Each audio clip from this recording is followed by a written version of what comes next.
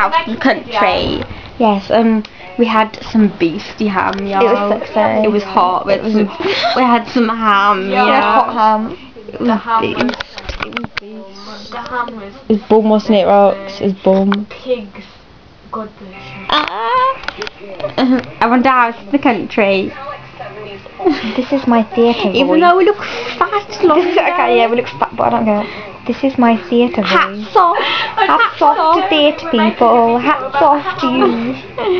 Oh my god. Why are we watching Little Britain and you like we're gonna be bald, fat, and?